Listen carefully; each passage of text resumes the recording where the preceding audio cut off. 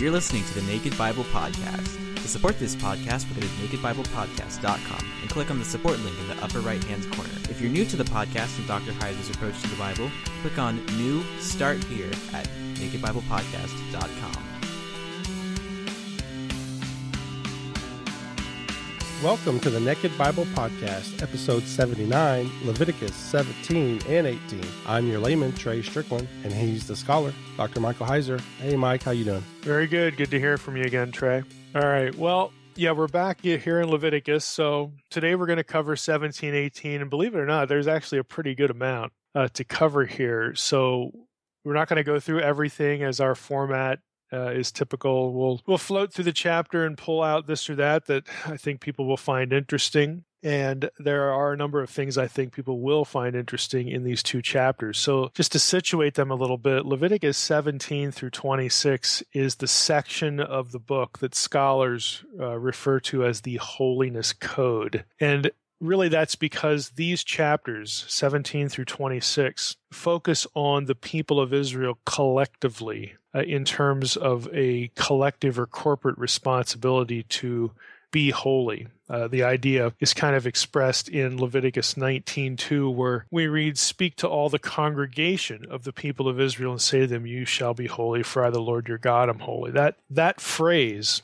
again speaking corporately in context, you shall be holy, for I, the Lord your God, am holy. That phrase is actually really rare in the rest of Leviticus, and of course, beyond Leviticus out in the rest of the Hebrew Bible. But here in this section, 17 through 26, it is stated repeatedly uh, and really uh, emphatically in certain uh, certain sections. You have it in chapter 17, verse 1, 18, verse 1, 19, verse 2, 20, verse 2, 22, 17. Uh, again, it, it, it just gets repetition. And so scholars have noticed this and again, based upon the content in these chapters, they have given it the name the Holiness Code. Now, we're going to hit the first two chapters in the quote unquote Holiness Code today. Chapter 17 is going to deal with uh, the proper forms of worship. Again, not really directed at the priesthood per se, uh, even though the, obviously the priesthood is going to be involved, but really sort of emphasizing the principles of sacrifice and, and a few other things to the people corporately. In other words, this is your responsibility too. Whereas in Leviticus 16, it was all about the high priest. If the high priest does things correctly, God will accept the Day of Atonement ritual. Here, it's not about the high priest or even the priesthood per se. It's about everybody. Everybody has to do their part. And there are some things here that you know he's going to track through in Leviticus 17 on into 18, of course, on through chapter 26, that all the people collectively need to pay attention to. Chapter 18, which we'll get into, are the laws about forbidden sexual unions. You have incest, adultery, homosexuality, etc. Things that are referred to with the Hebrew term to'eva, which is uh, detestable things or something abhorrent. Uh, in the context of Leviticus, it means behaviors that are inconsistent with holiness because that's again the emphasis in the, this whole block. So jumping into chapter 17 here, the the first 9 verses we might as well just give that a quick read and then you know, jump into some comments. The Lord said to Mo- the Lord spoke to Moses, saying, "Speak to Aaron and his sons and to all the people of Israel, and say to them, This is the thing the Lord has commanded: If any one of the house of Israel kills an ox or a lamb or a goat in the camp, or kills it outside the camp, and does not bring it to the entrance of the tent of meeting to offer it as a gift to the Lord in front of the tabernacle of the Lord, blood guilt shall be imputed to that man. He has shed blood, and that man shall be cut off from among his people. This is to the end." that the people of Israel may bring their sacrifices, that they sacrifice in the open field, and they may bring them to the Lord, the priest at the entrance of the tent of meeting, and sacrifice them as sacrifices of peace offerings to the Lord. And the priest shall throw blood on the altar of the Lord at the entrance of the tent of meeting, and burn the fat for a pleasing aroma to the Lord. So they shall no more sacrifice their sacrifices to goat demons. We mentioned this passage uh, last time in, in Leviticus 16, uh, finishing the verse. No more sacrifice their sacrifices to goat demons after whom they whore. This shall be a statute forever for them throughout their generations. And you shall say to them, Any one of the house of Israel, or of the strangers who sojourn among them, who offers a burnt offering or sacrifice, and does not bring it to the tent to the entrance of the tent of meeting to offer it to the Lord, that man shall be cut off from his people. So that's the first nine verses, and you know the, the flavor here, again in part with verse seven, is there's a concern here for stopping this idea of sacrificing to goat demons, uh, other other entities that were perceived to live out in the wilderness, you know, where the where the the goat for Azazel was driven. The Hebrew word is Se'irim. We need to we need to knock this off. We need to stop this. So there's there's this prohibitory sense in that narrow context, but more broadly, uh, you can see as as you read through this that there's a concern here about bringing sacrifices to the tent of meeting because that is the place where God has commanded that sacrifices be brought. You can't just do this anywhere you want. Now, this passage has sort of an old problem associated with it, and that is going back to verse 3 if anyone of the house of Israel kills an ox or a lamb or a goat in the camp, or kills it outside the camp, so on and so forth, you know, and doesn't bring it to the entrance of the tent of meeting, then that's bad. Well, kill there is the Hebrew term shakat. It is not the normal term for sacrifice, which is zavach. So the Hebrew verb shakat, which means to kill or to slaughter, can be used with one of two meanings in mind as it's used throughout the Hebrew Bible, including here in Leviticus. So the verb can mean to slaughter in a very general sense. And if that's what we're looking at here, then the verse would describe whenever an Israelite man just went out hunting and killed an animal, even if it's just for food, then that act of slaughter or the, the or dressing the animal had to be carried out at the one legitimate location, the one legitimate altar located at the entrance of the tent of meeting. And you can see, well, that that would be kind of odd or inconvenient. Like, you mean every time I go hunting, I gotta I gotta bring this thing to the to the, the you know the altar there at the tent of meeting, and you know, or else God's to be mad. Well, again, that that's looking at the term in its very general, generic sense. The verb can also mean to sacrifice. In other words, that has a ritual tone to it. Uh, in other words, it could be a, a true synonym for zavak, again, to offer a sacrifice in a ritual sense. Again, if that's the way we read verse 3, then the sense would be that anything intended for ritual sacrifice had to be made, had to be brought to and, and you know dealt with at the altar. But the general you know slaughter of animals for food like you're just going out hunting that was okay because it's non-sacrificial now, the reason that the discussion is sort of important is because depending on how you take it, some have said it's contradictory to Deuteronomy 12, 15 and, and following, which I'll read for you here. It says, However, you may slaughter and eat meat within any of your towns. Now, right there, there's this permission to go out and hunt and eat meat within any of your towns. It doesn't have to be according to the central location, the, tabernacle. It says, You may slaughter and eat meat within any of your towns as much as you desire, according to the blessing of the Lord your God that he has given you. The cl- unclean and clean may eat out of it, so as of the gazelle and as of the deer. Only you shall not eat the blood.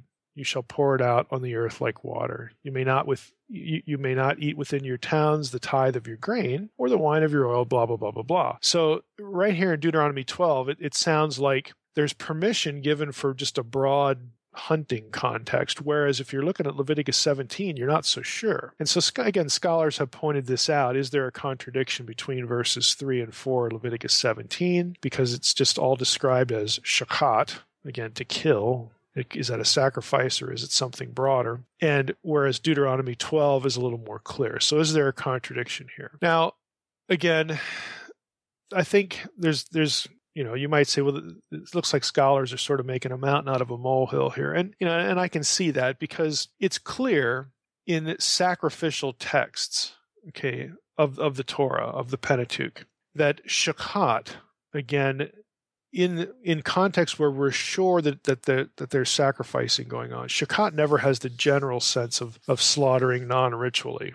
Okay, that raises the question, well, what about other texts? You know, what about again contexts where you don't have this immediate, you know, sort of feel to them? I think you know what we have here is that since shakat is used both ways depending on the different contexts you know in the just broadly in the torah sometimes there's clearly a ritual sense going on sometimes there's not since shakat can be used both ways it is fair Uh, I think, and I'm not, I'm certainly not alone here, to interpret Leviticus 17 in light of Deuteronomy 12. That that there's there's no disagreement here because it it, it specifies in verse three you know, ox, lamb, goat in the camp or kills it outside the camp, okay, if it's intended for sacrifice, then yeah, you need to bring it to the entrance of the tent of meeting. But if it's not intended for sacrifice, and of course it doesn't wind up being a sacrifice, then you're okay if it's just a general killing for food, like Deuteronomy 12 allows. So again, I just want you to be aware that there's this issue because this is one of those things that sort of shows up classically in these, oh, here, look at all these errors in the Bible, you know, kind of thing. Uh, it doesn't have to be viewed that way because shachat has this elasticity. Sometimes it refers to ritual killing, other times it doesn't. Now, let's just say though for the sake of the discussion here that somebody violates this legitimately. Like like they, they do kill something outside the camp and they say well i was just hunting but then they wind up bringing it for a sacrifice. Well then then there's a clear violation of what they're supposed to do. And the penalty is pretty severe. In verse 4 it says blood guilt shall be imputed to that man. He has shed blood. That man shall be cut off from among his people. Now again blood guilt, this idea used elsewhere in the Pentateuch, is actually used for homicide elsewhere. You know, killing killing an innocent human being. So we get, it's a dramatic term. You know, some some scholars would say it, it's like hyperbole just to make the point that hey, this is something really bad, really severe. It's more it's it's a dramatic way of putting it, and I think that's the case here. But what I want to focus on is the penalty, this cutting off from among his people. Uh, the, the term there in Hebrew is karat, okay, the verb, the lemma anyway. And where this term is used, it is basically uh, used to describe a, a divine penalty. In other words, something God is going to do in response, you know, to what has happened. Something God, you know, has or, or ordained or is actually sort of left to God to carry out. Now, there's there's a problem here too. So what what does cutting off from the people actually mean? And if if God is sort of the the behind the scenes actor in a lot of passages, how, how do we understand this? Now, a lot of modern scholars would look at karat and define it as uh, either excommunication, in other words, the person is driven away from the compute from the community. So, so, the effect is, look, we're we're cutting you off from the whole community, and we're going to let God deal with you. Live or die, that's up to God. You're you're, you're just out of the community. Goodbye. Some, though, would say, well, it, it, maybe it's the death penalty. In other words, God authorizes you know other people to put this person to death. So either excommunication or again a death penalty sort of situation it, it really sort of depends in many cases on the passage, but there again that that that creates the problem of well it might be clear in one place but what about where it's there's ambiguity? You know how should we parse this? Uh, again this is a very general reference here in leviticus. Now a lot of leviticus scholars people like milgrom and levine they kind of lean away from karat being an immediate death penalty uh, carried out by people. And uh, they a lot of them follow the rabbis in this. Those who you know, would, would take this view, point out that look, all the offenses where karat is prescribed, coincidentally, they would say not coincidentally, are deliberate sins against God and not fellow humans.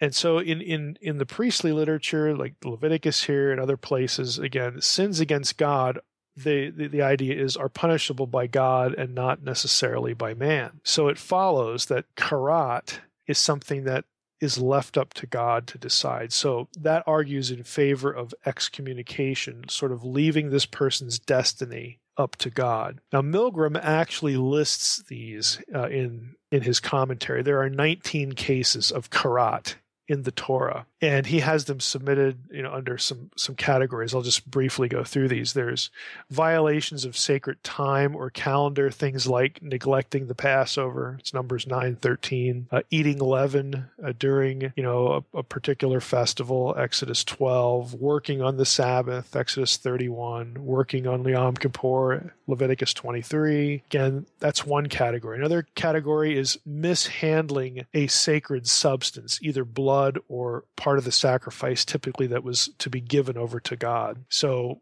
consuming blood here in Leviticus 17:10 that's going to be condemned with karat. Eating parts of the of the sacrifice that you shouldn't again in Leviticus 7 that's karat. Uh, eating a sacrifice while you're impure Leviticus 7 again karat. I mean you, you, you get the impression again the, these are these are offenses or violations that in some way transgress the worship of God and, and, what is God's and how God wants to be worshiped. And so therefore the logic is that the, the penalty is is up to God. And so karat would be drive that person out of the community. And of course, they're they're never going to be allowed back. Uh, you have the same thing in third category purification rituals. Uh, another category milgrom lists is illicit worship. For instance, the worship of Molech or other forms of idolatry. The punishment is karat consulting the dead, necromancy, karat. Those are both in Leviticus 20. The one odd one, the, you know, the 19th instance that Milgrom lists that, that you'll find kind of interesting because we're going to get into this in Leviticus 18 is illicit sexual relationships. Now you'd say, well, how why does that belong with all these other all these other ones? It's very clear that what you're doing is violating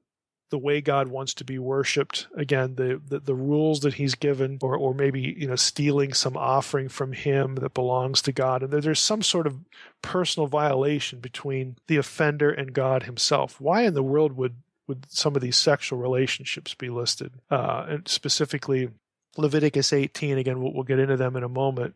Are, are described, and then the, the, punishment, you know, cut that person off. You know, the karat is, is actually given. Now, I my impression. I'll say this now, and then we'll we'll pick it up when we get to Leviticus 18. I think it's possible that the reason these sorts of things are listed among these other worship ritual oriented things is because certain sexual activities and prohibitions, uh, certain sexual acts were thought to, and they're, and they're actually said to, quote, pollute the land. And since the land actually belongs to God, those are interpreted as offenses directly against God. They result in defiling something God owns permanently. Uh, because there's there's no system of atonement for the land when it's defiled. I mean, the, the, the, Old Testament, we, we mentioned this way, way, way back when we were introducing Leviticus, that some forms of impurity are ritual, others are, are more serious. The ritual ones have a cure. You know, you do this for a certain number of days and you wait, and then you're going to be then you're going to be pure again. You bring a sacrifice, you're all taken care of. But there are other uh, violations that were that went beyond ritual impurity. They were moral impurities, and they had no solution except for God to essentially wipe the slate clean and start over. And that's actually what you see described in. Um, like in Leviticus 23, where you know God says, "Hey, if you do all these terrible things and you pollute the land and so on and so forth, then I'm gonna I'm gonna cast you out. I'm going to kick you out of the land. I'm going to exile you. You're going to die in somebody else's country." and and and I'm just essentially going to wipe the land clean of you, and then it it will sit fallow, you know, for a while, and and that's the cure, a complete reset by God. And so, since a lot of these things are in that that category in some of these other chapters, I think that's the logic here. That that again, some of these sexual relationships were viewed as so defiling uh, of the land itself, and the land belongs to God. That's why they're listed here among, among all these other offenses that are sort of personally against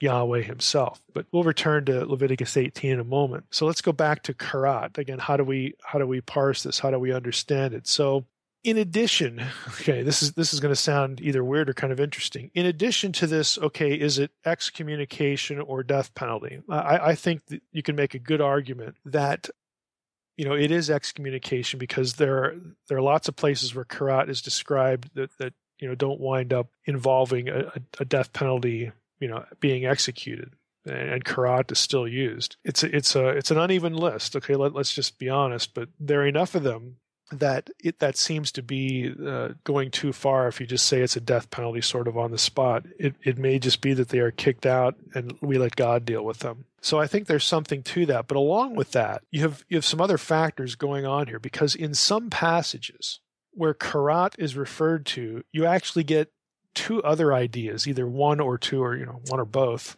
in the passage that are kind of interesting. One is what scholars would call extirpation, that is, the offender's line, his bloodline, is terminated. In other words, he may not himself be put to death, but there's some sort of cursing language where God will cause his ancestry, his descendants, his name to just die out. Uh, and again, I, want to I'm to give you a couple of these in, in a second here. So not only is the person put out of the community, but essentially you leave you know God deal with him and the way God's going to deal with him is is you're not going to have an ancestry okay your name is going to end. And that to an ancient person was a serious thing because that's how you're remembered. They they they, they tied that up with uh, you know sort of the afterlife thinking, and that brings us to the second part of this. Not only is there extirpation, where the offender's bloodline is terminated, but there are a couple passages that actually imply, and I get this, denial of afterlife with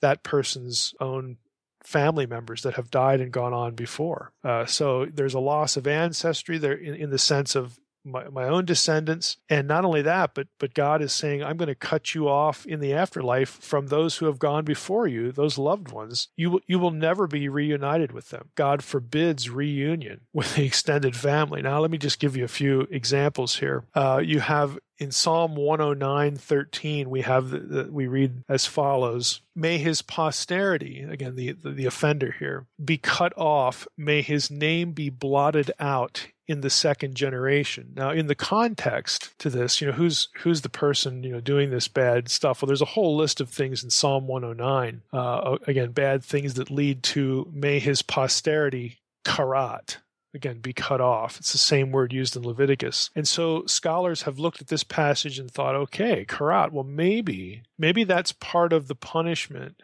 back in leviticus where you drive a person away and they're left destitute or or god will deal with them harshly. And so that person's bloodline is going to be cut off. And the second part of psalm 109 may his name be blotted out in the second generation. Basically you're just consigned to be forgotten uh, is is kind of the extended significance of karat there. If we if we look at Psalm 109:13 and factor that into what's going on in Leviticus, there's another one in Ruth 4:10. We get this reading: Ruth the Moabite, the widow of Mahlon, I have bought, this is Boaz speaking, I have bought to be my wife, to perpetuate the name of the dead in his inheritance, that the name of the dead may not be cut off, there's karat, from among his brothers and from the gate of his native place. You are my witnesses this day. So this is the Boaz, the climax of the story where he redeems Ruth. Now the point is that it was part of the role of the levir in levirate marriage, in this case Boaz, to perpetuate the line and the name of the deceased husband. So if that's part of again the the worldview thinking, again that if, if you don't have if you don't have descendants, that that is going to result in you essentially being forgotten forever. And and that is defined or articulated with the term karat. Then again, maybe this is a concept we can look back in Leviticus and you know where where karat is mentioned again for these 19 things here in Leviticus. Maybe that is part of what karat meant back in Leviticus when God is talking about you shall cut this person off, you know, from the from his people or something like that. Third one, and this one's really again, sort of the same kind of thing. Malachi 2:12 says, "May the Lord cut off from the tents of Jacob again, karat. May the Lord karat from the tents of Jacob any descendant of the man who does this, who brings an offering uh, to the Lord of hosts. Now, again, there's a specific crime, you know, going back, you know, into Malachi 12, the profaning of the covenant, again, committing abominations. And some of these abominations in Malachi 2.11, to'eva, they're the same things listed in Leviticus chapter 17, other places in Leviticus. It's the same term detestable things. So this is is actually more of a of a direct link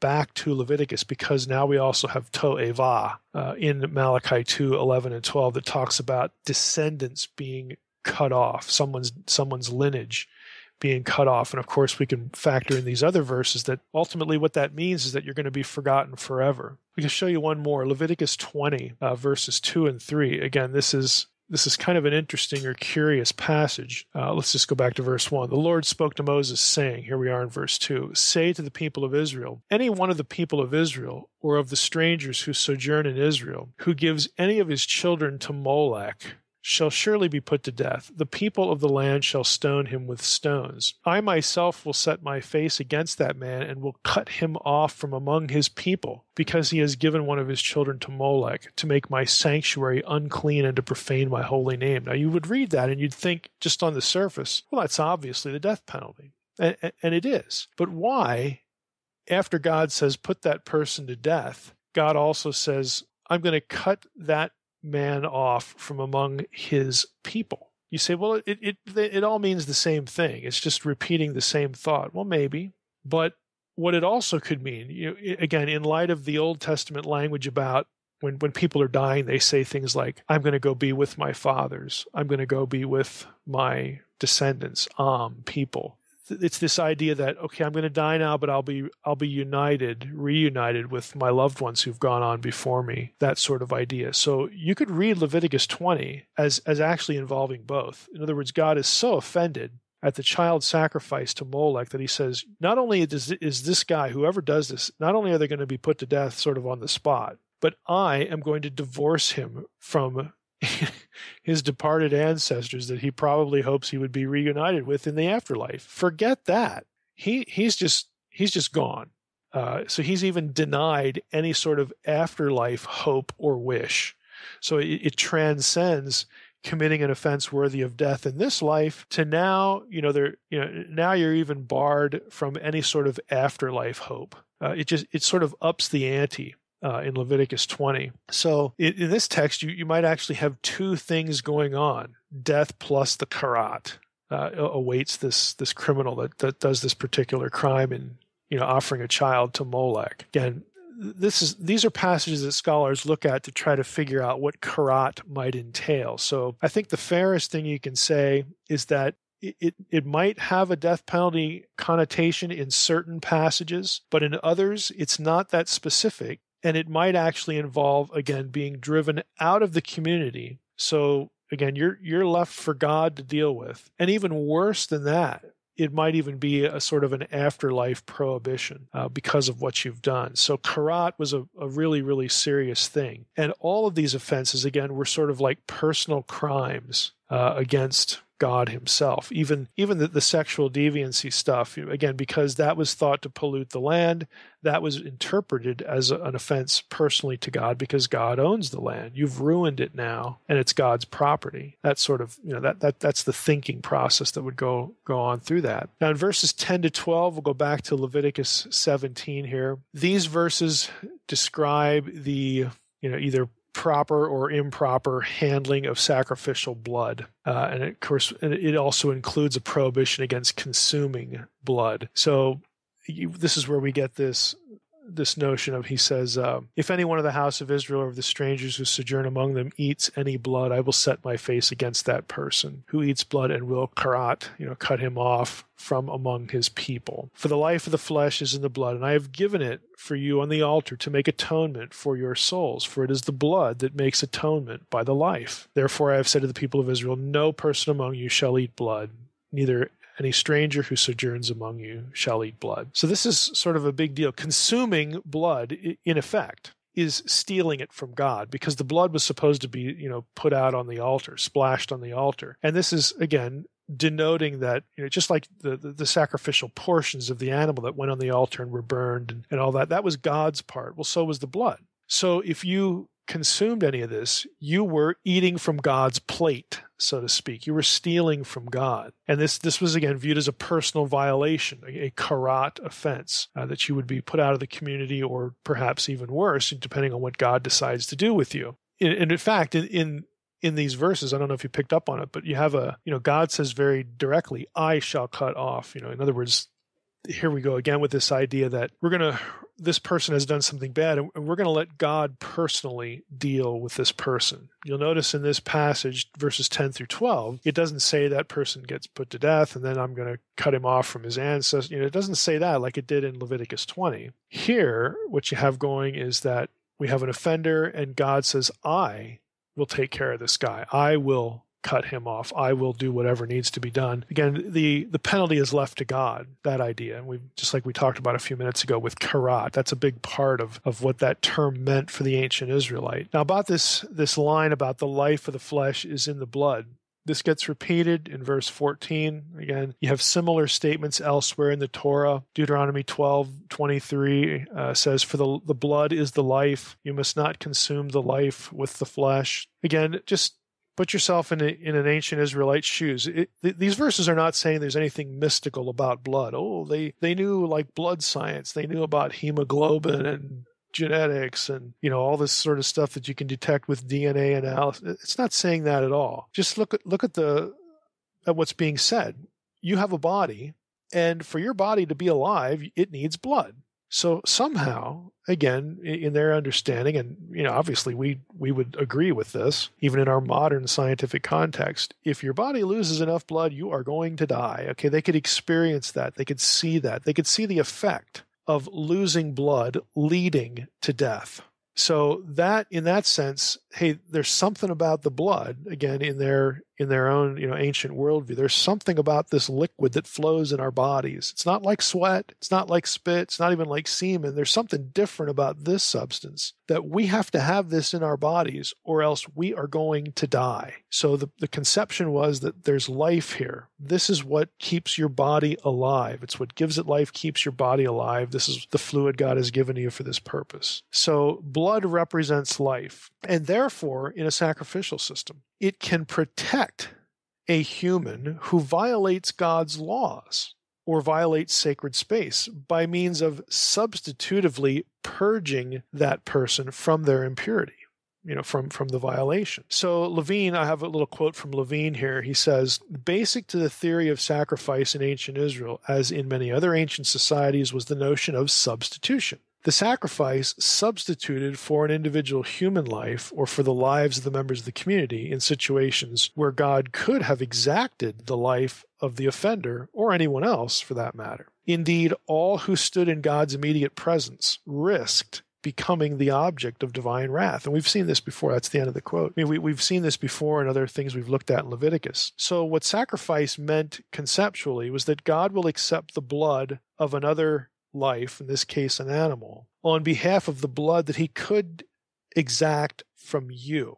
Okay, it's in lieu of your life that God will accept this other life. So uh, I, I, think this is just an important observation. I'm not going to spend too much time on it, but if any of you out there who are listening to this have done any reading on sort of how modern scholarship, even within evangelicalism, views the atonement, the atonement of Christ, it amazes me how how so many scholars and people try to rid the theology of atonement from substitution. Substitutionary atonement somehow has become offensive uh, in our culture, probably again because it involves blood. And so we have different views of the atonement. There's the ransom theory, there's the good good guy theory, good life theory, example theory. Look, I'm not saying that the atonement doesn't include some of these other aspects. What I am saying is that you you do not understand atonement. And no Israelite would have thought about atonement the way you're thinking about it if you divorce substitution from it. That is intrinsic to the whole idea. And as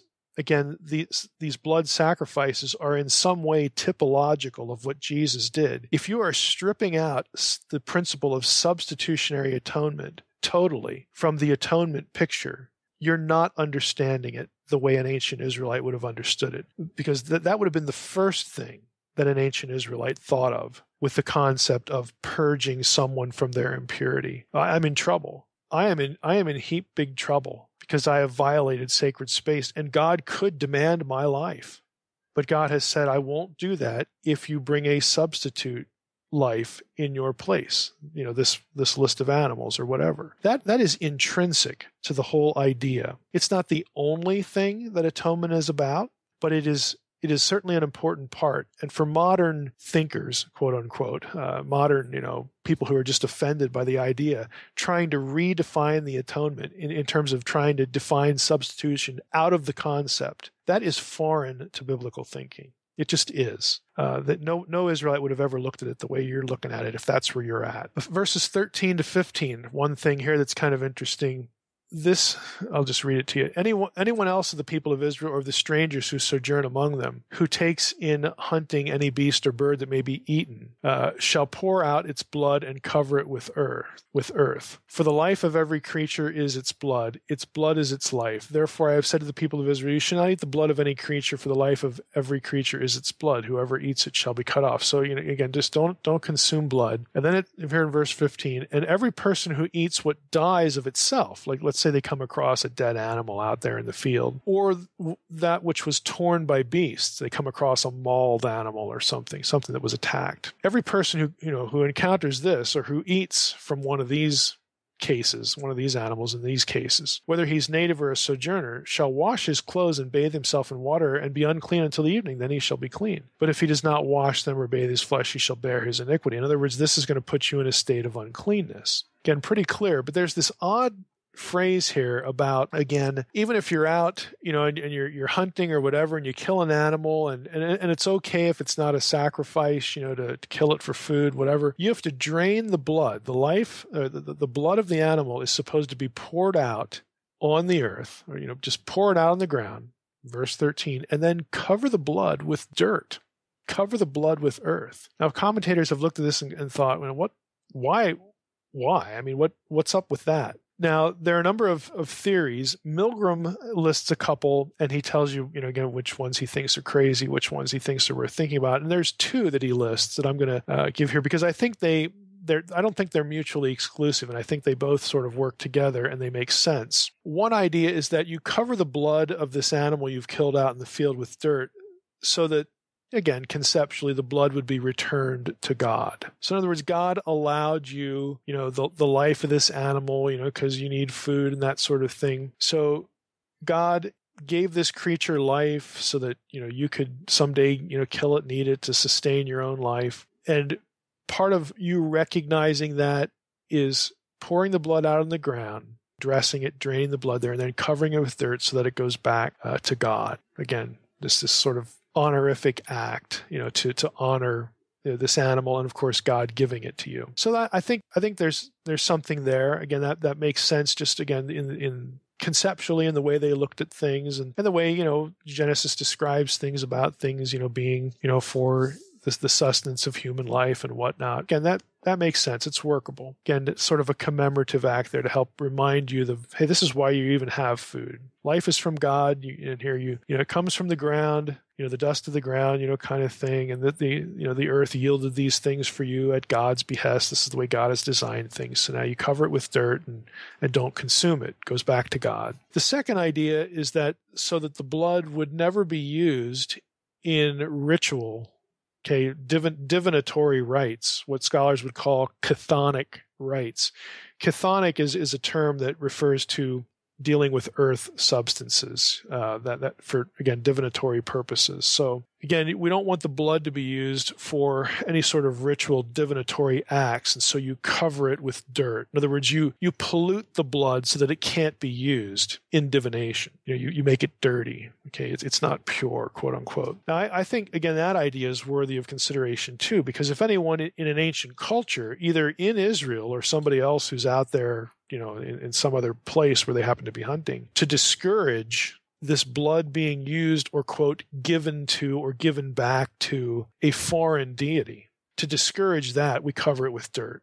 Again, I think there's there's something to that, and I don't think these ideas are mutually exclusive. The, the ban again on using blood in ritual or divinatory acts implies that blood, because blood is life, and because only Yahweh, the God of Israel, is the life giver, and no other deity can legitimately claim to be the life giver, blood, which is life, should only go back to God. It should only go back to its maker. Either in sacrifice, you splash the blood on the altar. If here in this context, we cover it with dirt so that no other deity can receive it and no other, it can be used for, for the contact of or worship of any other deity. So I think that is is a coherent way to look at what seems again to be sort of an odd command here. But again, they, they believe in an animate supernatural world that intersects with our world. And so this is something because it's given by the life giver, it has life, it's valuable, it should be given back only to the maker and no one else, no other deity. That it, it actually becomes sort of a worship, again, a, thing to honor God by doing this. And I think that's why it's here in Leviticus. Well, let's jump into Leviticus 18 for a little bit. Leviticus 18, if you've ever read this, this isn't going to surprise you, but this is the most complete collection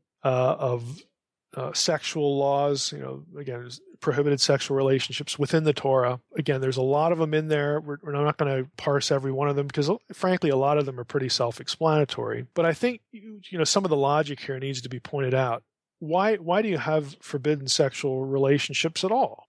Well, there are a couple of reasons. One was it had the effect of sort of delimiting or you know building the boundaries of what was conceived of as the immediate family the family unit versus the extended family, you know, people that would, would sort of become part of your family through marriage. Well, that was different than family members that were, were close relatives. In other words, your own kids, okay, that kind of thing, the, the, the ones that you brought in, into being, so on and so forth. So these laws have the effect of defining what the immediate family, what constitutes the immediate family, that is, sexual relationships are forbidden within immediate family members or among immediate family members outside the husband, the man, and his wife or wives. Okay. Uh, and again, you can't, it's part of the logic why you don't take someone else's wife, you don't commit adultery, you don't take someone else's wife and, and make them your own because they, again, that, that, you're violating a family, an immediate, you know, family boundary there. Now, outside, again, the man and his wife or wives and their children,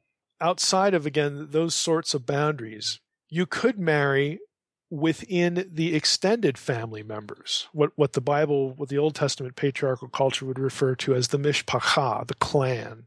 Okay. In fact, those marriages were actually encouraged because they, again, magnified or grew the extended family and they created more immediate families within the context of the greater clan. So sexual laws have, have a way of defining you know which group is which and what are the boundaries between the groups that sort of thing. So levine says here uh, for instance quote the immediate family was formed by a man who married one or more wives thereby initiating the process of procreation. This conception of the family explains why the regulations governing sexual behavior were addressed to the male Again, there's always male language in these Leviticus passages. They're addressed to the male as the head of the family rather than somebody else because the male had more sort of immediate control uh, over the situation. Again, respecting these boundaries. Now, let's talk a little bit about a, a couple of these things. Again, I'm not going to read through the whole chapter. You could you could do that again about uncovering the nakedness of XYZ. There's a whole listing of these. Let's talk about a couple. Let's talk about incest.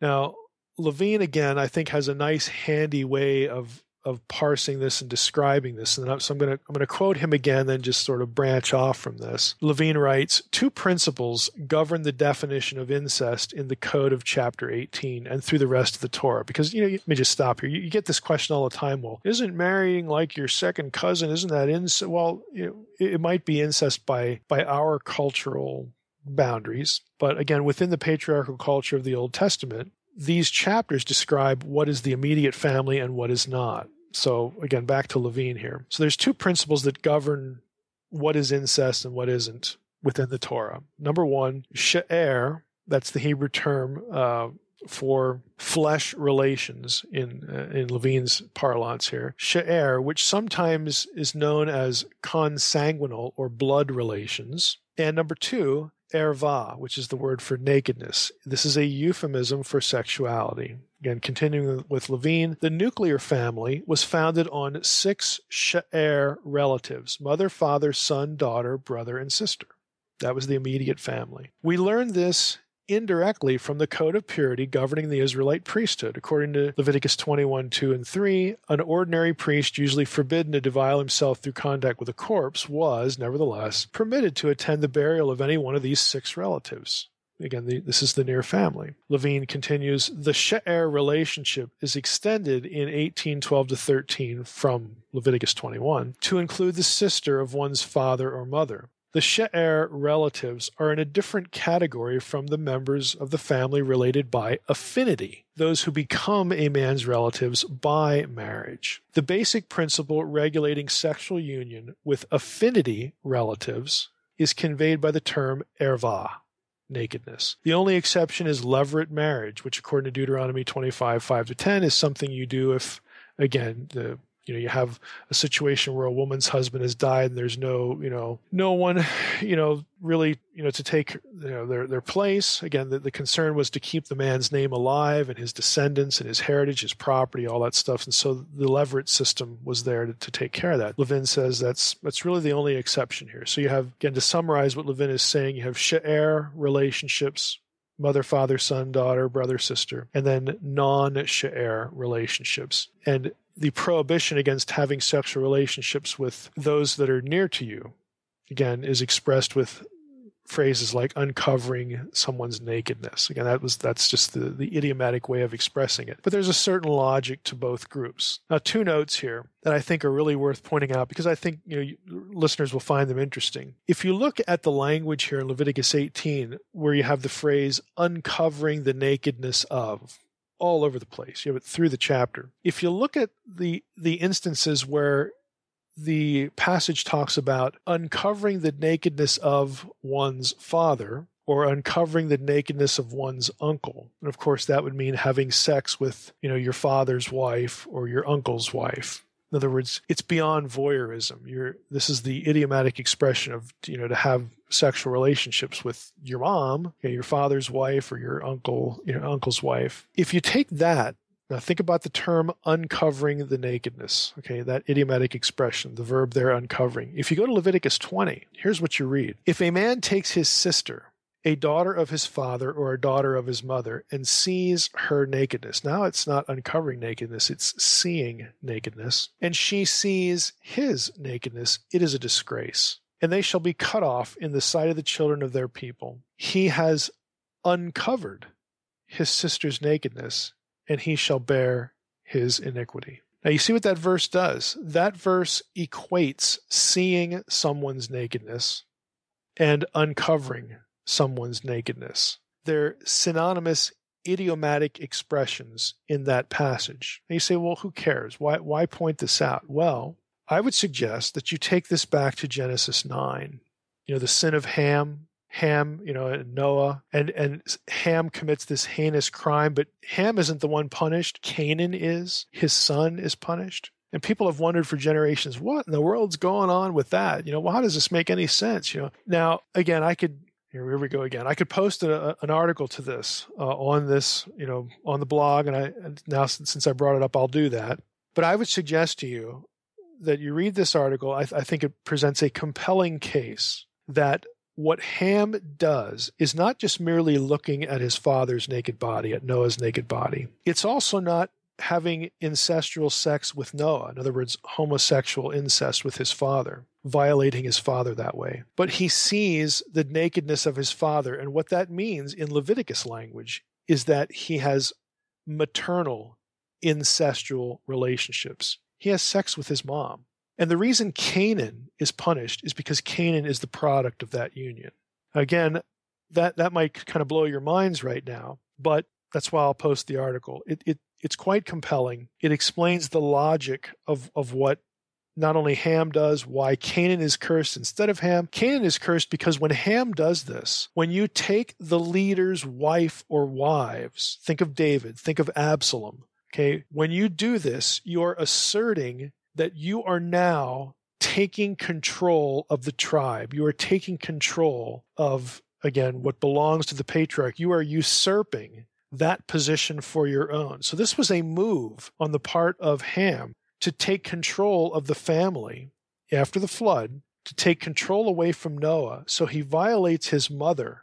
He takes his his dad's wife, you know, his his woman, and says, "I am the leader now." He tells his brothers, and the brothers, so they, they can distance themselves from the whole thing. They go in and they even go backward. They, they go in and they, un, they, they cover their father's nakedness. In other words, they cover their mom, okay, to, to make it clear that they have no participation. They oppose what's going on here. And then when Noah discovers what has happened, he curses not Ham, he curses Canaan. Basically, he's cutting off with a curse Ham's line that Ham would have thought, this is now I'm building my own dynasty here. This is my child by my mom's womb. Noah curses it and says, we're going to put a stop to that right now. So again, read the article, but I, I wanted to mention it here because the language here in Leviticus 18, along with Leviticus 20, contributes, I think, to understanding what's going on in Genesis 9. And that was a bit of a rabbit trail, but I think it's interesting. Second thing to bring up here is why in Leviticus 18, let's go down to, uh,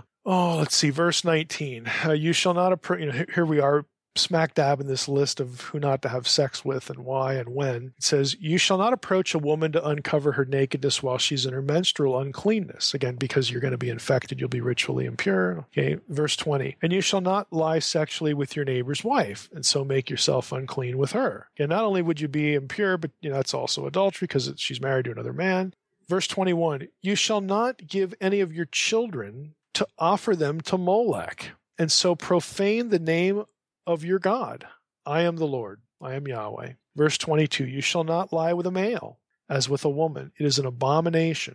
And you shall not lie with any animal, so that you make yourself unclean with it. Neither shall any woman give herself to an animal to lie with it. It is perversion. Now, here's the question why is homosexuality not grouped with the preceding list of sexual relations that were prohibited? Why is it instead grouped with the abominations of child sacrifice and bestiality. Again, because they just seem so much worse than the stuff that has preceded. Why is homosexuality grouped in, you know, in that bunch? Well, you know, a little bit of background here, and again, I'm not going to go off too far on a, a, lecture on homosexuality and ancient attitudes toward it. Other cultures um, this and this is Israel Israel is an exception here across the board, but other cultures allowed homosexual sex. In other words, it wasn't severely punished even though it was generally looked down upon. It, it really depended on the context because a man, for instance, could rape another man to degrade them. Uh, to bring them into submission, or to establish, like with with the Greek uh, pederasty system, to establish sort of a you know an, an order of authority and submission uh, with their their younger male charges that they were training to be warriors, you know, that, that kind of thing. It was just something that eh, they all, you, you all had this done to you until you sort of grew up and now you were the aggressor. You were the one that was going to, again, teach in, in this, again, to, to what sounds to my ear like a very perverse way of teaching. You're going to teach, you know, submission, uh, male authority, uh, the pecking order, so to speak, in this culture through this act. This is again, I'm just using the Greeks for an example. This didn't happen, you know, across the board in ancient cultures, but that's that's sort of a handy example. That sort of activity was not looked down upon in certain cultures because it was just again part of this is how you teach authority. Okay, you you humble you know these other these other young young boys these young men and this is part of their training again to be warriors. Okay so that that wasn't something you'd punish. It, it was one of the contexts that in ancient cultures allow for this. Now israel never allows for for again the, the homosexual act in any of these contexts at all. So israel's kind of unique in this regard and and commentators again are very familiar with this. It was homosexual uh, sex though was looked poorly upon. It was derided when in, in the cases of the male who was in the submissive role. In other words, the male who was penetrated or, or violated, and not so much the penetrator because that was the aggressor. That you know he was you know again establishing power. So males were just generally not supposed to play the submissive role of women. And so when you had that situation, then broadly speaking in, in ancient culture, homosexuality was looked down upon in that setting. So it could be looked down on some setting and, and not looked down on in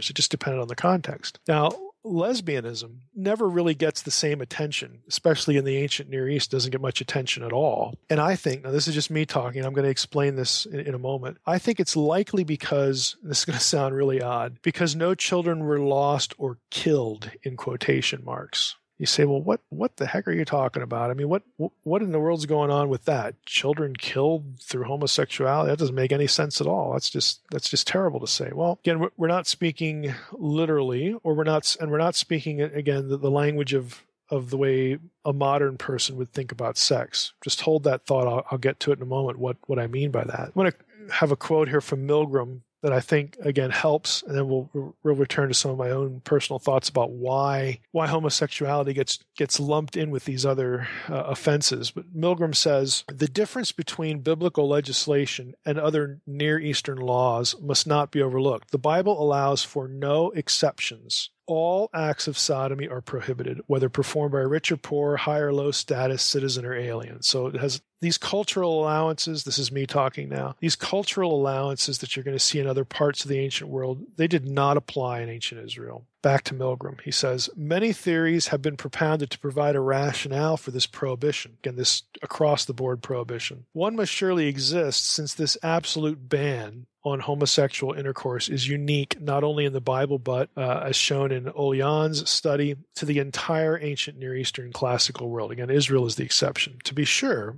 Milgrom again, a rationale is given with staccato emphasis the pollution of the land in the concluding exhortation, again, in Le- these chapters of Leviticus, but that does not explain the individual prohibitions in the list.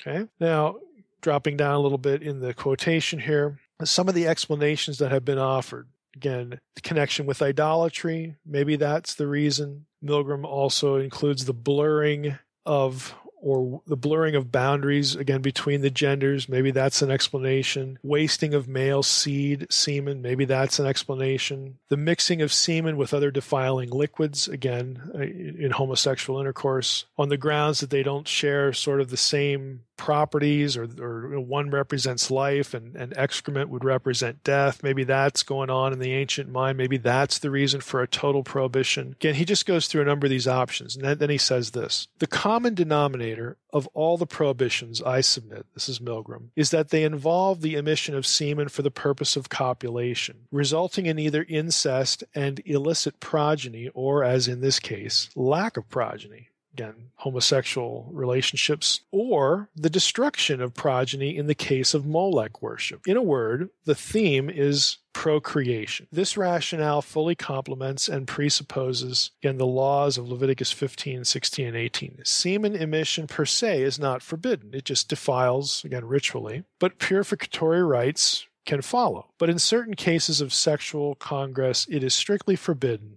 and severe consequences must follow. End of quote. Now, here's why, again, with that as a backdrop and what I've said earlier, here's why I think this is just me talking now. Why I think homosexuality, instead of being listed in at, in the the forefront of Leviticus 18, gets lumped in with offering your children to Molech and bestiality and, and that sort of thing.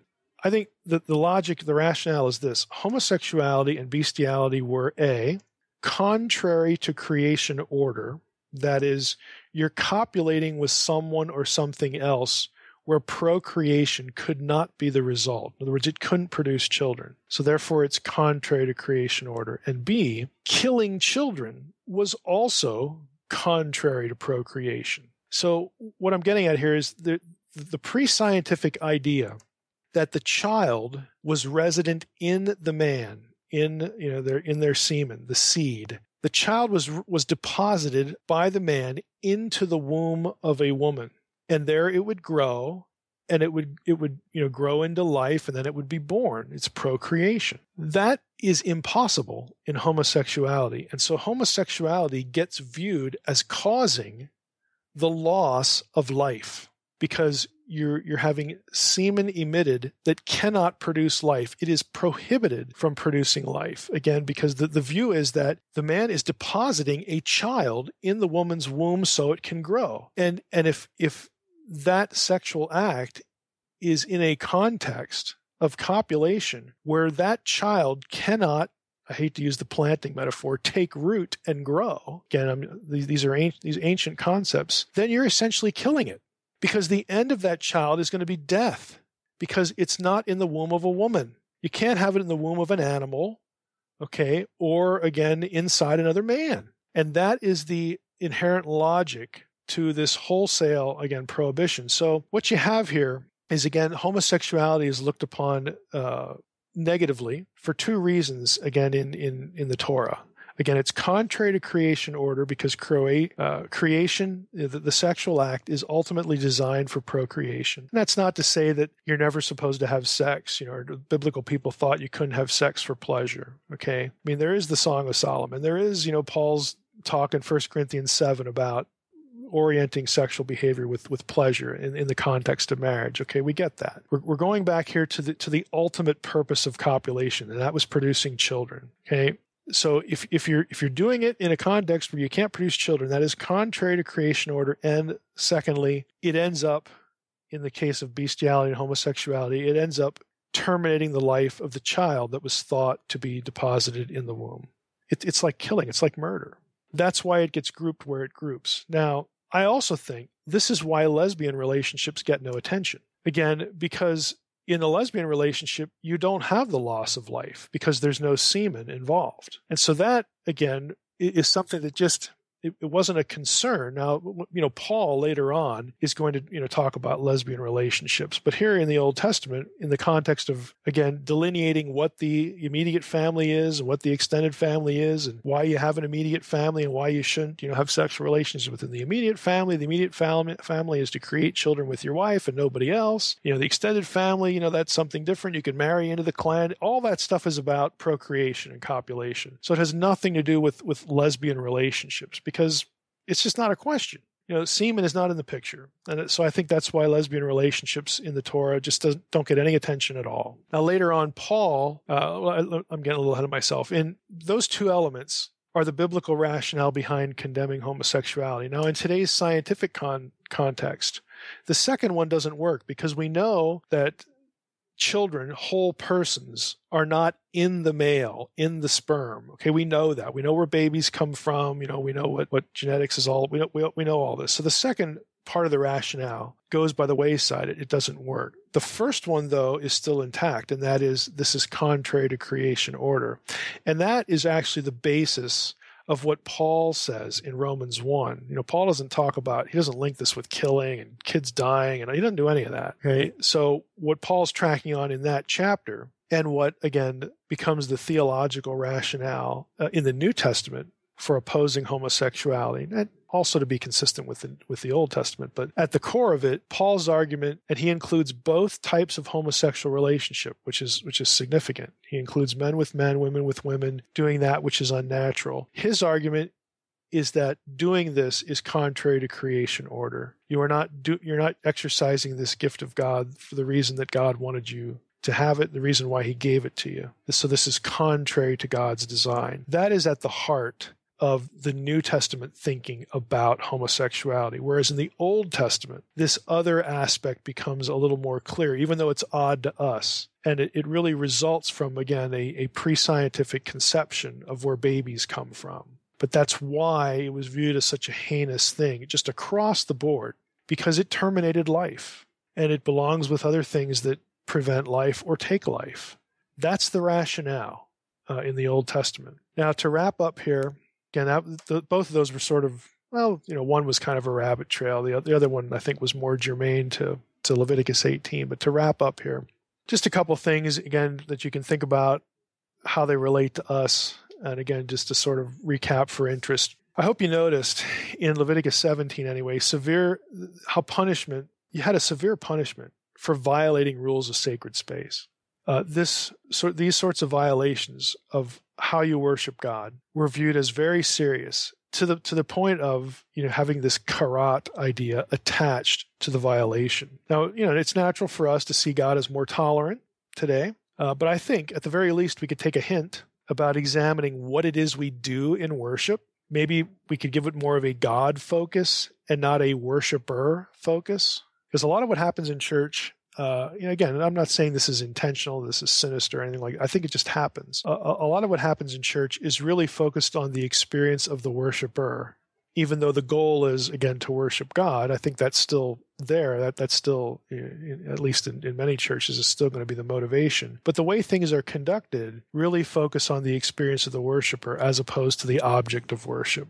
You know, we, we judge good worship by whether we are bored or not that that is that's really foreign to a biblical mindset. Uh, it wasn't about uh, either being entertained or or even uh, having your your senses excited or however you want to put that. It was really about doing things to show God that we assign importance to Him and not ourselves. That we're we're we're thinking about what He wants from us and not what we hope to get out of the sermon and that sort of thing. So I think we can at least take that hint from what's going on Leviticus here. Secondly, since we are sacred space, and we've talked about this concept before, since we are sacred space, the juxtaposition of these two chapters, think about it sacred space rules, and then you have sexual boundary rules. I think the juxtap- juxtaposition of those two, th- those two concepts is worth noting. This is, again, part of the logic why Paul talks about if you he, he links, you know, fornication with sinning against your own body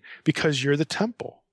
Again, this is the language from 1 Thessalonians 4, language of 1, 1 Corinthians 3, 1 Corinthians 6. Again, there's something going on in Paul's head as to why he links these things. And I think the juxtaposition here of Leviticus 17 and 18 are part of what's floating around in his head. And thirdly, sexual prohibitions should not be viewed as arbitrary. They had a logic to them that was pro life and pro family. Again, it, they, sex wasn't exclusively focused on personal personal pleasure or personal convenience. Again, the, the pleasure part is going to you know go without saying, and that's not prohibited. Again, within the boundaries of, of the biblical family, biblical morality.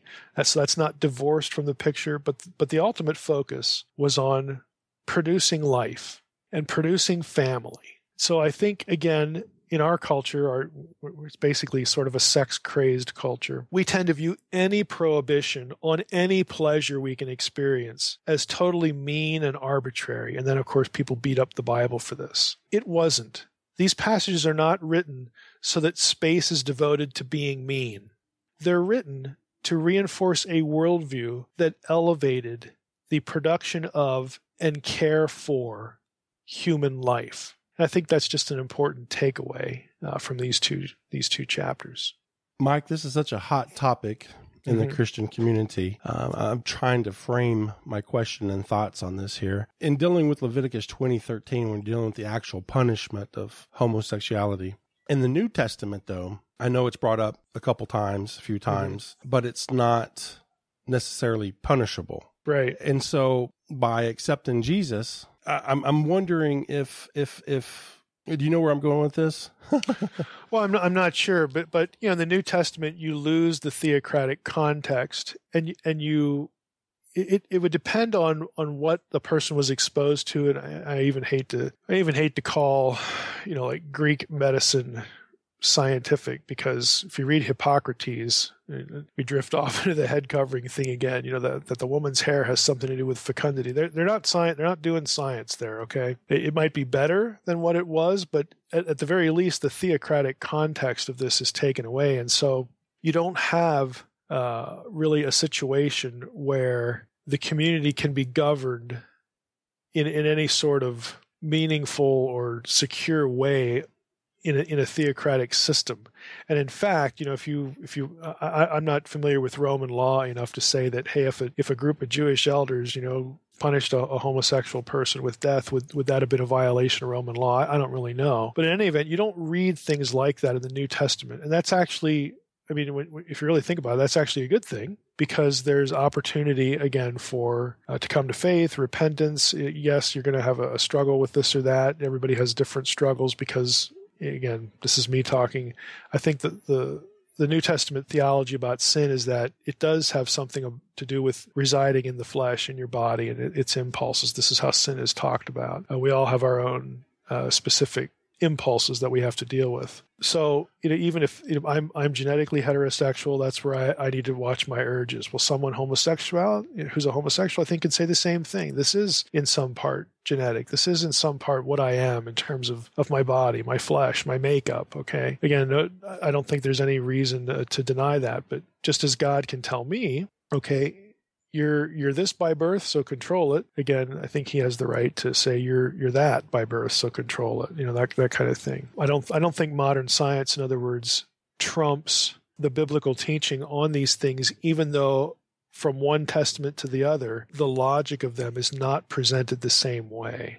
Is there any literature outside the Bible of how oh, Christians oh, yeah. treated homosexuals in that time yeah, period? there there is i think the best thing on this is uh, robert his his last name is G A G N O N. He's a professor at uh, somewhere in Pittsburgh. It's either Duquesne or Pittsburgh Seminary, but he's it's a Catholic school, I think, but I don't know if he's Catholic. But a- anyway, um, Gagnon has presented just volumin- a voluminous amount of material on homosexuality in the ancient world, and so let me, let me just get the title up here so I don't mistake it because he's got a couple of books, but there's one that's sort of his big introduction to this The Bible and Homosexual Practice Texts and Hermeneutics. Um, this book is quite exhaustive It is, if I can look at it here real quickly, I have it in my office. It's over 500 pages and it, it has a lot of background material. Uh, there are other books that deal exclusively like with ancient Near Eastern attitudes and law codes, you know, about homosexuality, but within the Christian community across the testaments, within Judaism and Christianity, Gagnon's book is the one to get. And, and he asserts and frankly demonstrates that there is no instance uh, within the uh, like a practicing Jewish community in the ancient world, uh, there's no instance of of homosexual relationships being looked upon positively. Again, because they're they're oriented by the Torah. That's kind of obvious. But he does the same thing with with the Christian context, um, because Christianity grew out of Judaism, so they're linked to the Torah there as well. But again, you have a lot of Gentile involvement. So he goes into the Gentile material again, showing the, the various attitudes, and Gentiles were, again, generally uh, tolerant depending on the circumstance uh, of homosexuality depending on the class, the culture, the, the context in which it occurs, you know, who's the aggressor, who's the you know who's the one who's not, uh, all these all these factors, and and so the, early church has to, you know, it, it's going to be including a lot of these people, you know, uh, within uh, it, the believing community who did not grow up thinking like Torah, you know, when it comes to this, and so Gagnon does address again how thinkers and writers and leaders in the early church articulated these sorts of things and, and how they thought about them in light of more so the New Testament, especially Paul, as opposed to necessarily the Old Testament.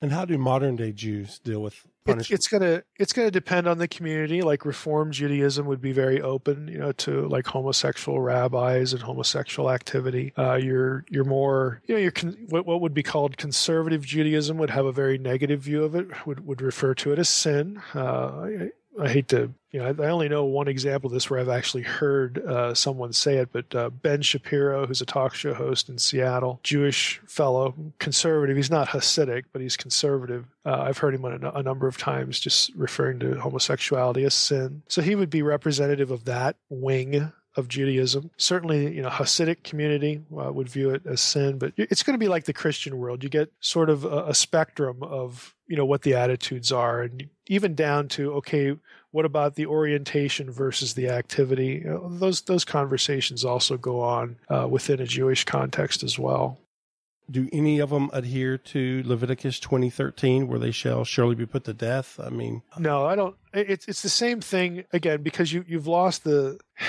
Judaism of today is is in many respects dissimilar to Judaism or you know Israelite practice right. in the Old Testament because not only do you not have a temple, you also don't have a secure priesthood uh, to to make these judgments. You also don't have a theocratic community in any sense. So while they can look at the Torah and say, look, the Torah condemns this, so don't do it. When it comes to like specific crimes and punishments within the theocratic context, they're they're they're just not doing that. I don't I don't know that I've ever heard an instance in the Jewish community uh, in in the Western world, and frankly, I've I've just never heard it where someone is actually punished today, again in a modern context, that way uh, for homosexuality. Although it, it, it's condemned in plenty of plenty of cases.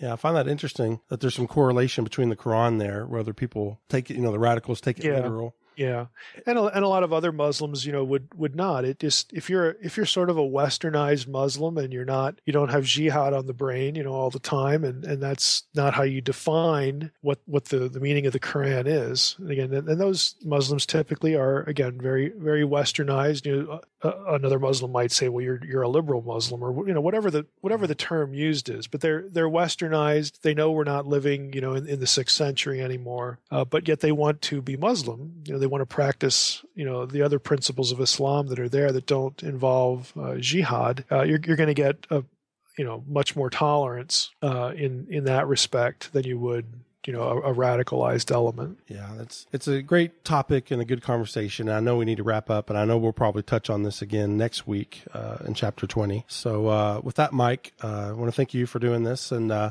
and you had some updates about your blogs for 2016. Did you want to? Oh yeah, yeah. That, glad glad you brought that up. Uh, for those um, who may be only listening to this and didn't didn't look at the blog recently, after December twenty second, maybe maybe even just after Christmas, I'm going to start writing about some things that really are going to attempt to describe uh, what I see as the future or the possible future of the, the blog, the podcast, some other things, and really even me uh, as far as being able to produce content for people. Um, I, I don't I don't want to say any more here. I'm gonna I'm gonna flesh those things out, but I'm just in a situation now where I, I, can put it this way: there there are some things that just have to change uh, for me to be able to produce the kind of content for people that I want to produce, and uh, we'll we'll talk about what those changes need to be and how they might happen uh, on the blog. So just go up there and you know, visit, you know, subscribe to one of the feeds or whatever your method is, but just stay tuned there. Yeah. And I also want to ask everybody now that we're coming up on Christmas, let's make a big push toward the end of the year to expose as many people as you can. We appreciate all the donations and the Patreon members who give on a monthly basis or a one time mm-hmm. basis. And uh, we would encourage if you enjoy the content, please contribute uh, so we can keep doing this type of content. Mm-hmm. And, yeah. um, and we just want to thank everybody that has given generously to date, and we appreciate it. And we hope to can keep doing this for a long, long time. Mm-hmm. It's taken and, and us doing more of it, and doing a lot more of it. And it's taken yeah. us. I'm surprised it's taken us uh, a year to get uh, almost through two two books. That is, uh, yeah. that's yeah. Uh, many many years of content left oh yeah we have a long long long way to go and, and not just in terms of the podcast but there are a number of other things i could be doing uh, to produce content and interact more with with uh, people in the audience but um, again i don't want to get into it here but i'll be i'll be blogging about what some of the what the situation is you know what some of the problems are and what some of the solutions might be to be able to do more of this I guess, Mike, uh, is there anything else that you would like uh, I to should, discuss? I should mention the uh, the bibliography. The, I, am going to be uh, releasing the results of the bibliography work at the end of the year, so we're fast approaching that. And uh, again, stay tuned on the blog for details about that. But we're we're nearing the end of of that process. I, I, I can't give a completely coherent guesstimate uh, as to what that's going to look like or or how it's going to work, but just stay tuned for that too. And please, if you enjoyed the last couple shows where we did the interviews, send me some feedback via email, trey.stricklin at gmail.com. I'd love to hear any feedback y'all have. I enjoy the emails that I do get about some stories. I had one email um, from somebody, Mike here. I'm going to bring it up real quick. They were listening to the show, and in one ear, uh, mm-hmm. Leviticus um, 16, 16 the, it is. The goat for Azazel. Yeah. yeah. Did you see that? They uh, in one ear they were listening to the show, and then a car passed them, and they had a goat in the trailer, and so they were hearing goats. oh yeah. my word! So that's, that's pretty funny. Yeah. So that's perfect timing there. All right, Mike. Well, next week we're going to continue on with Leviticus 19 and 20 correct? Yep. Mm-hmm. All right. Well, good deal. Well, with that, I just want to thank everybody for listening to the Naked Bible Podcast. God bless. Thanks for listening to the Naked Bible Podcast. To support this podcast, visit www.nakedbibleblog.com. To learn more about Dr. Heiser's other websites and blogs, go to www.drmsh.com.